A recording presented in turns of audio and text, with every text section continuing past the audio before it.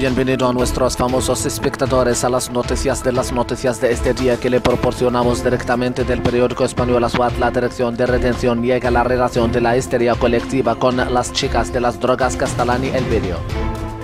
El Ministerio de Salud anuncia la reducción del precio de 11 medicamentos. Huelga nacional en Bélgica, cierre del aeropuerto de Charleroi el miércoles hoy. El lanzamiento de la segunda sesión de la Conferencia Árabe Africana de Mujeres de Negocios en la ciudad de Marrakech.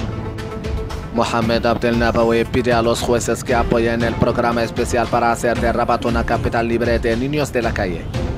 Alcanzar la mitad de la victoria en la cumbre de Addis Ababa.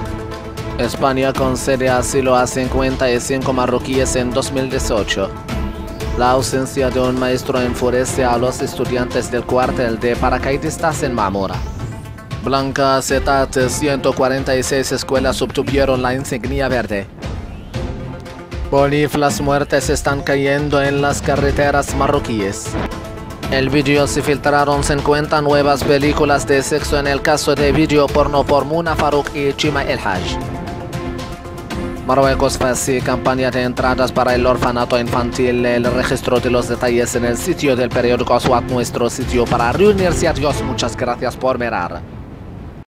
ما تنسوش تابعونا على جميع وسائل التواصل الاجتماعي والاشتراك في القناة والضغط على زر الجرس ليصلكم الجديد